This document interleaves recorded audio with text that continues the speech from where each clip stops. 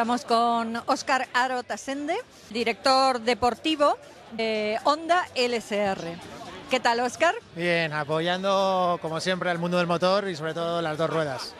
Me ha sorprendido muchísimo la presencia de mucha gente tiene que ver con las motos, pero más que nada con, con, las deportivas. Y sin embargo estamos en un evento de Harley Davidson. Bueno, yo creo que toda la gente que tenemos sangre, un poco de queroseno ¿no? dentro de la sangre, al final nos relacionamos con todo lo que tiene motor y dos ruedas. ¿no? al fin y al cabo somos todos lo mismo, ¿no? nos une una pasión y gracias a Dios respiramos todos el, mismo aire. Harley me ofreció la posibilidad de, de trabajar un poco como imagen para la marca y desde entonces son seis años eh, llevando Harleys. Cada vez que sale un modelo nuevo me piden que la lleve, me usan un poco como conejillo de indias, ¿no? Para saber cómo va la moto. Yo encantado, es una moto que cuando yo empecé de mecánico hace 20 años fui trabajé para Harley en un concesionario de Harley Davidson tres años. Las conozco, las conozco bastante bien y bueno, estoy bastante encantado de, de, esta gente, ¿no? Porque al fin y al cabo es moto, es moto. Fuera de lo deportivo, pero es, son dos ruedas, es un motor y es una forma de vivir la vida que al fin y al cabo es lo que nos gusta a todos, ¿no? Tengo que preguntarte, ¿cómo están los pilotos? Con bastante presión para nosotros, sobre todo este año que tenemos un piloto catalán, que como es Tony Elías, un piloto que viene de ganar un campeonato del mundo de Moto 2 con una, una cualidad y una calidad como piloto increíble. Obviamente para nosotros es el doble de trabajo, ¿no? El correr en casa con todos los sponsors, con toda la presión mediática que tiene Tony. Hemos dado un paso adelante bastante grande en los últimos grandes premios. En Qatar eh, estábamos a 3.2 segundos, en Jerez estábamos a 2.8, en Portugal a 1.2 y en Francia ya nos metimos entre los 8 o 9 primeros en carrera. Estamos contentos, la evolución es buena. Yo espero que Tony encuentre ese chip que le falta ¿no? para, para que empiece a disfrutar de verdad de las carreras. Honda nos ha dado todo su apoyo 100% porque quiere, cree y quiere que Tony esté eh, adelante, luchando por, por, por, estar en los top 10. Este año es muy complicado porque el nivel de MotoGP es grandísimo. Has visto los accidentes que ha pasado con, con Simoncelli, por ejemplo, en Francia pero obviamente creemos 100% en Tony, sabemos que Tony va a estar entre los 10 primeros a partir de Momeló y creo y, estoy esperando como loco que eso suceda. Tengo que preguntarte sobre Dani, ¿cómo está? ¿Cuáles son las últimas noticias?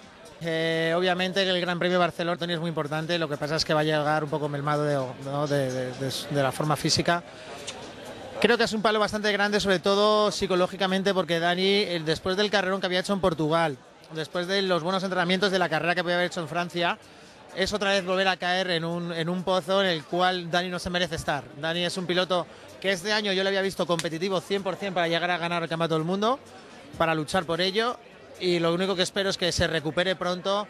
La, la faena es que tenemos dos grandes premios seguidos, nos vamos directos a Inglaterra y con la clavícula como está y el nivel tan alto como está en MotoGP va a ser complicado que esté para luchar por el podium, pero yo creo, desde mi humildad, que lo importante es acabar la carrera, coger puntos y esperar a este panón que tenemos antes de, Holanda para seguir luchando por el campeonato.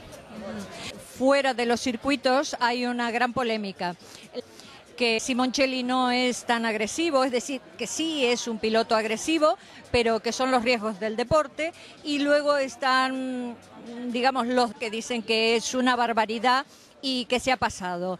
Tú, que lo ves desde dentro y estás eh, cerca de los pilotos, ¿cuál es tu opinión? Simoncelli siempre ha sido un piloto agresivo, es un piloto que desde el punto de vista técnico es bastante especial a la hora de poner la moto a punto porque es una moto que, mm, bastante difícil ya de hacerla, digamos, dócil.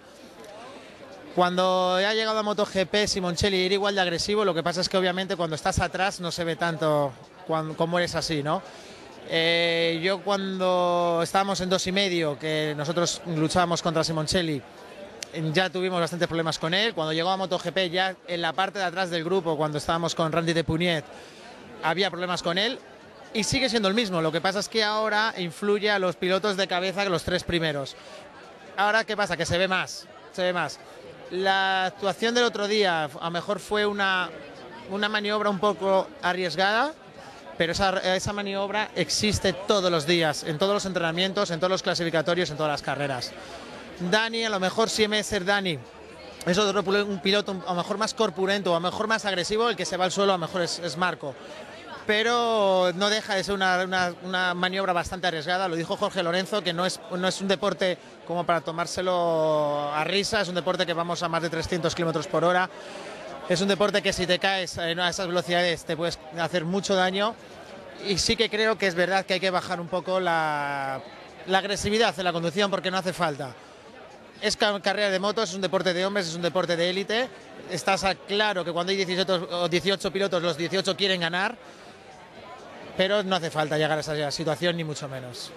Os deseamos lo mejor para este fin de semana en Montmeló. Esperemos. Muchísimas gracias a vosotros por cubrir todo lo que sea mundo del motor, porque nosotros vivimos de esto, vivimos sobre todo del, del público, de la prensa que hace hincapié en este deporte y que nosotros intentamos que sea lo más bonito posible para todos. Gracias, mucha suerte. Gracias.